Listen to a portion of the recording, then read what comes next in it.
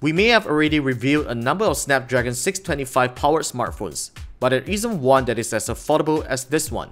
For less than 800 ringgit, Xiaomi is here to disrupt the mid-range smartphone scene once again with the all-new Redmi Note 4. But does it have what it takes to make it a worthy purchase, or just a device that is full of compromises? I'm Warren for KL Gadget TV and this is my review of the Redmi Note 4.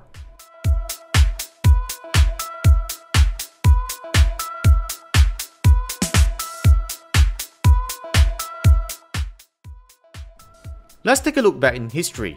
The first Redmi Note has a lot to offer during that time. It has a huge display, a great camera, and a huge battery for 500 ringgit. If you look past of its shortcomings, it was one of the most affordable phablets to own during that time. Fast forward to the fourth generation of the Redmi Note. A lot has changed both inside and out. The Redmi Note 4 is a lot sleeker than last year's predecessor and all thanks to a tapered edge. You do find the phone to be rather comfortable to hold on hand, not to forget to mention that Xiaomi has maintained last year's slim screen bezel on the current model.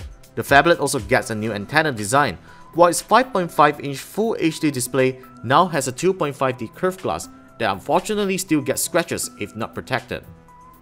By all means, the Redmi Note 4 is no cheap looking smartphone and it doesn't try too hard to look like one. I would recommend putting on a case as the phone's chassis is a very slippery one. The Redmi Note 4 has a very satisfying spec sheet for what you are paying for.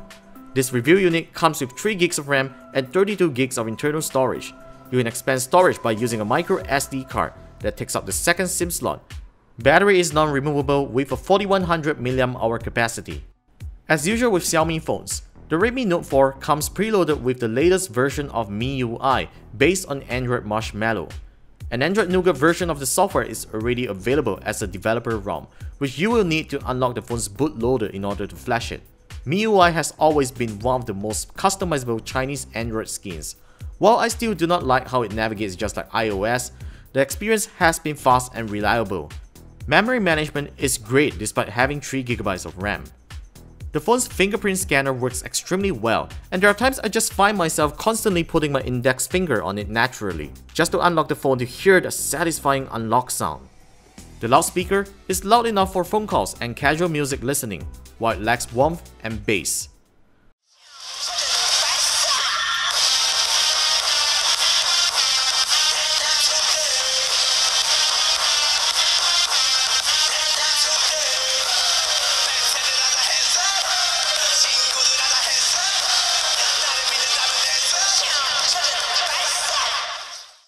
The Redmi Note 4 rules when it comes to power efficiency.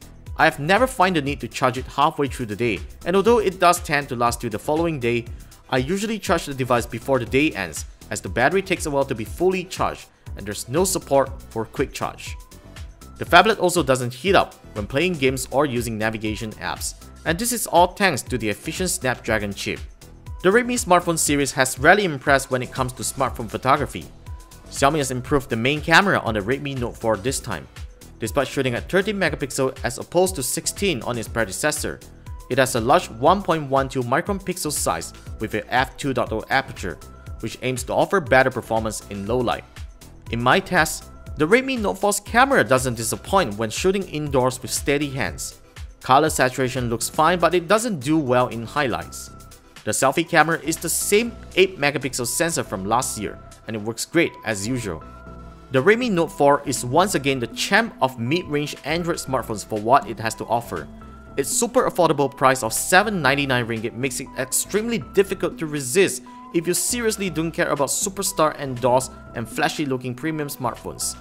You do however miss out features like water resistance and fast charging. But at the end of the day, this phablet delivers great performance, a decent camera and super power efficiency that no other phones can do at the same price range. Want to see more tech reviews like this? Subscribe to KL Gadget TV for weekly tech videos and don't forget to share this video if you love it. Share with us your thoughts in the comments and follow us on the usual social channels for your daily dose of tech news. And as always, thanks for watching. I'm Warren for KL Gadget TV and I'll see you soon in the next one.